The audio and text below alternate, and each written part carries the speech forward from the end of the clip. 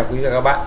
Thì trong video ngày hôm nay thì tôi sẽ chia sẻ gửi tới các bạn những cái quy trình về cách mà chúng ta thi công máy hệ máy thái bao gồm là máy chữ A và phần đua ra của máy thái. Và những cái phần đua ra của máy thái đến nay thì một số tổ thợ và khi mà chúng ta thi công thì chúng ta vẫn chưa nắm được những cái uh, điều lưu ý trên. Thì trong video ngày hôm nay tôi sẽ chia sẻ kỹ hơn về những cái vấn đề đấy thì như các bạn đã biết thì chúng ta thường hay thấy là có hai cái cách mà chúng ta sẽ thi công cái mái thái này. Thứ nhất là chúng ta sẽ đổ toàn bộ bê tông theo cái hệ mái chéo như thế này và chúng ta sẽ đặt uh, sắt hộp lên và, và thực hiện dán mái.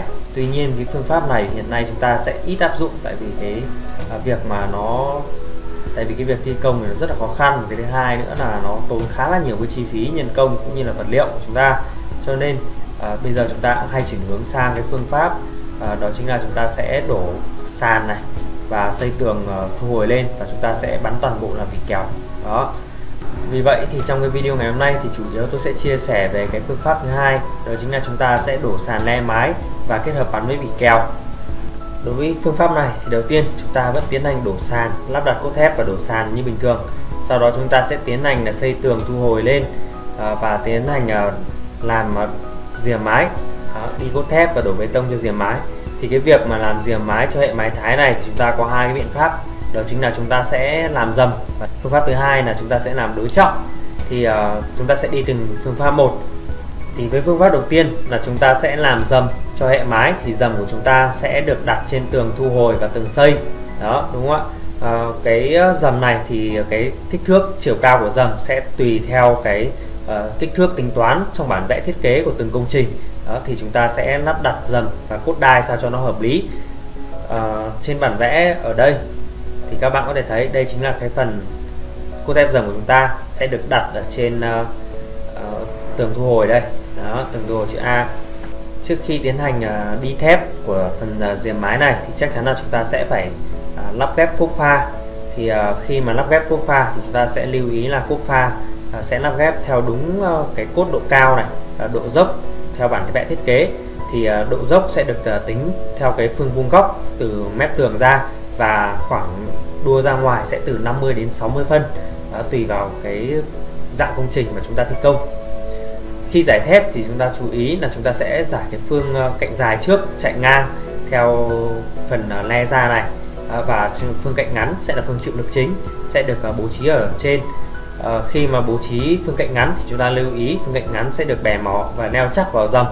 Đó. Vì lúc này dầm của chúng ta đang hoạt động theo cái hệ dầm công xôn và lực chịu tác dụng nhiều nhất chính là cái phần đoạn là dầm đoạn là đầu dầm thế này.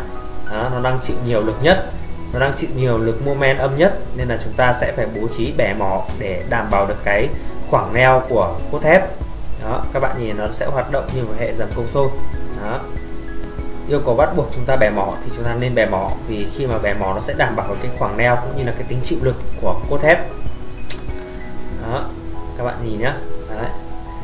trước khi đổ bê tông thì chúng ta lưu ý cũng phải thực hiện kê con kê đúng với cái kích thước theo bản vẽ thiết kế theo cái lớp bảo vệ và cái chiều dày của cái uh, phần đua ra như này. Để khi đổ bê tông thì chúng ta sẽ đảm bảo được cái uh, chiều dày của phần đua ra này.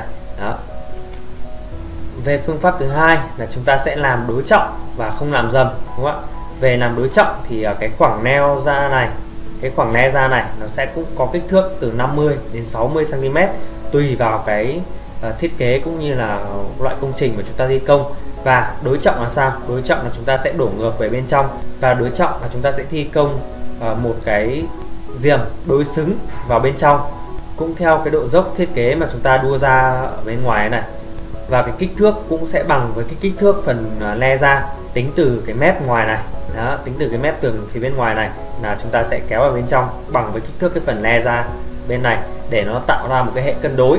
Ngoài ra khi mà chúng ta không làm dầm thì chúng ta nên thực hiện cấy thêm ờ, cốt thép chờ như thế này. Đó khi mình chúng ta cấy thêm cốt thép chờ này thì sau khi mà chúng ta làm thép ấy, thì thép của chúng ta nó sẽ neo vào những cái ờ, thanh phi 10 nó làm cho cái ờ, thanh thép nó được chắc chắn cũng như cái khoảng neo của nó được tốt hơn. Nên là chúng ta cần phải thực hiện những cái thanh thép trở như thế này để đảm bảo được cái ờ, khoảng neo của thanh thép.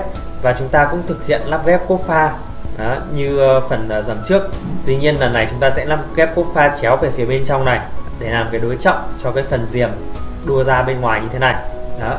Và cái cách đi cốt thép thì chúng ta vẫn là phương ngắn sẽ là chịu lực và phương dài sẽ mang tính chất cấu tạo nằm dưới và phương ngắn nằm trên đó các bạn nhìn này nó sẽ trải đều toàn bộ. Đó và đối trọng với cái phần rìa bên ngoài này. Đó và đây chính là tường thu hồi của chúng ta.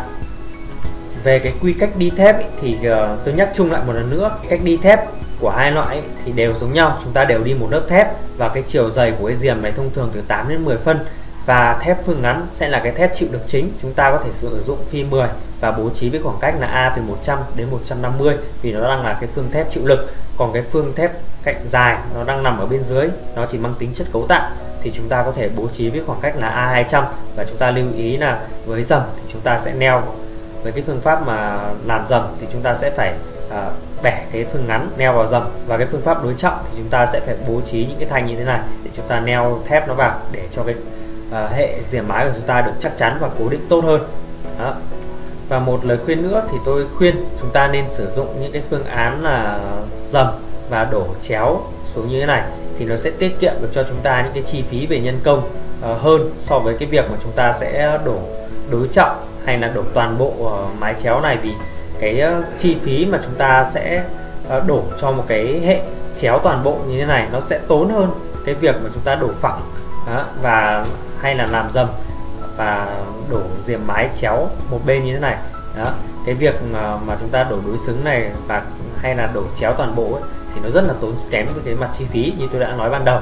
Đó thì đấy là những cái điểm mà chúng ta cần à, biết để sau này chúng ta lựa chọn phương án thi công cho cái công trình nhà chúng ta sao cho nó hợp lý với cái chi phí để chúng ta làm và đảm bảo nhất cũng như là đỡ tốn kém nhất.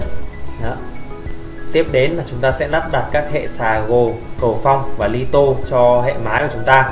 À, việc ờ, lắp đặt hệ xà gồ uh, ly tô uh, cầu phong hay còn gọi chung là vỉ kèo ấy thì uh, chúng ta sẽ phải yêu cầu là lắp đặt chính xác uh, cố định chắc chắn và đúng theo bản vẽ thiết kế. Ngoài ra trong trường hợp mà chúng ta có các hệ mái giao nhau như thế này thì chúng ta sẽ phải lắp đặt máng âm lớn để chúng ta thu hồi nước mưa và phải được yêu cầu cố định chắc chắn cũng như là kín để khi mà nước mưa của chúng ta nó chảy xối thì nó đủ khả năng để à, thoát hết nước. Mà ngoài ra nó sẽ không bị thấm rột trong cái quá trình mà chúng ta sử dụng. À, các bạn sẽ nhìn trên đây. Đây chính là cái phương pháp mà chúng ta sẽ làm làm diện mái. Và một phần nữa đó chính là ngói của chúng ta phải được bố trí đều.